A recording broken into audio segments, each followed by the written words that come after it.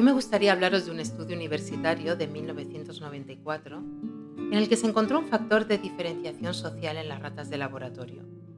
Ese factor fue el miedo. La creación de estrés dio como resultado la aparición de una jerarquía de explotadores, explotados y de autónomos. Hace unos años caí fascinada por un autor francés, Bernard Werber. El primer libro que leí suyo fue el de las hormigas. Luego, inevitablemente seducida por ese hilo invisible que teje en sus libros, que te susurra al oído que todo está conectado, seguí con el resto de la trilogía y, como sus tanatonautas, fui más allá. A medida que te sumerges en el universo de Werber, vas encontrando pruebas de esa conexión del todo. En sus libros, al igual que hila enlazando vidas de personajes, vamos encontrando extractos de lo que él llama la Nouvelle Encyclopédie du Savoir Relatif et Absolu, la nueva enciclopedia del saber relativo y absoluto, una obra misteriosa que aparece por fragmentos, escrita por uno de sus personajes, un personaje recurrente en sus libros, que se llama Edmund Wells, cuyo prefacio nos dice, aquí la hipnosis, la alquimia, el chamanismo o la cábala rozan con la sociología, la biología o la arqueología. Aquí descubrimos cómo sueñan los delfines y cómo nació el universo, cómo los chinos se encontraron con los occidentales y cómo se prepara el hidromiel, bebida de las hormigas y de los dioses. El único punto común de todos estos pequeños textos es hacer chispar el espíritu y despertar la curiosidad sobre terrenos desconocidos. Fue en esa enciclopedia donde descubrí el interesante experimento que os expongo a continuación sobre la jerarquización de las ratas a causa de situaciones de estrés. Didier Dezor, profesor investigador de la Facultad de Nancy, llevó a cabo un experimento en 1994 titulado Les rats plongeurs, expérience de différenciation sociale chez les rats que se podría traducir como las ratas buceadoras, experimentos sobre la diferenciación social en ratas. Este estudio consistió en colocar ratas en una jaula que se abría durante unas horas al día para dejar al animal libre para que pudiese atravesar un túnel que conducía a un distribuidor de alimentos. En ese contexto, todo va bien y las ratas no se molestan unas a otras. Se adentran en el túnel, encuentran su propia comida y vuelven al punto de partida a comérsela. Sin embargo, a medida que el túnel se iba llenando de agua, las ratas tuvieron que nadar para cruzarlo, llegando a tener que nadar incluso en apnea, hasta alcanzar las croquetas, y poder regresar al punto de partida a comérselas.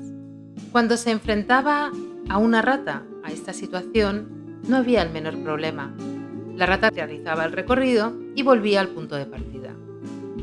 No obstante, en grupos de seis, la cosa ya no era la misma.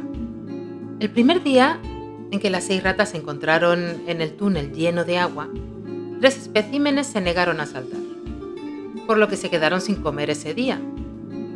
En cambio, otros tres realizaron el recorrido y pudieron comer.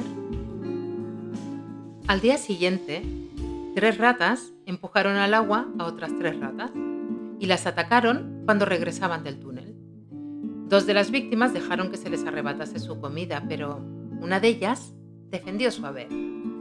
Las víctimas se zambulleron tantas veces como fue necesario hasta satisfacer a sus, a sus opresores.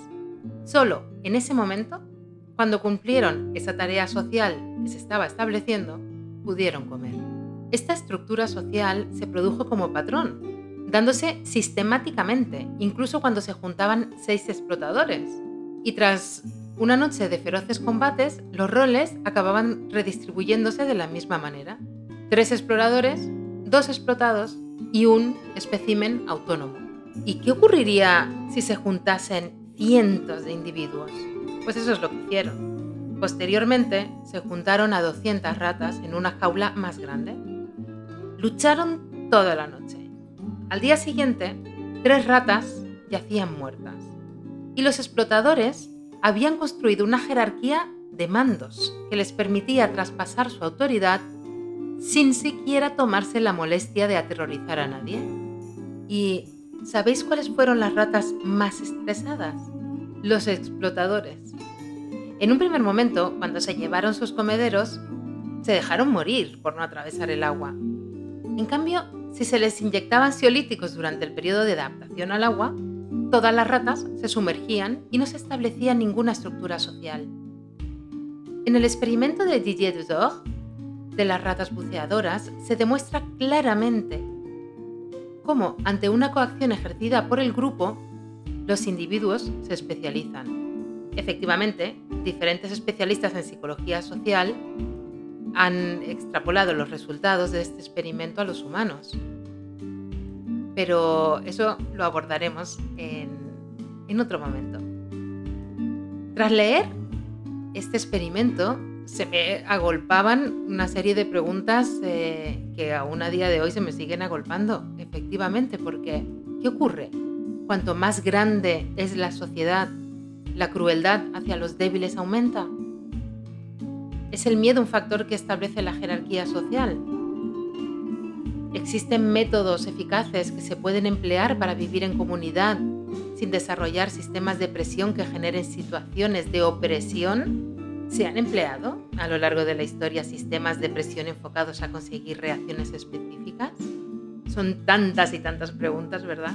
Si os ha gustado el tema o deseáis ahondar en él, os invito a conocer las publicaciones de Didier Dusdorf. Tiene un libro que se llama El comportamiento social de los animales, que es eh, muy interesante y que sería un buen comienzo.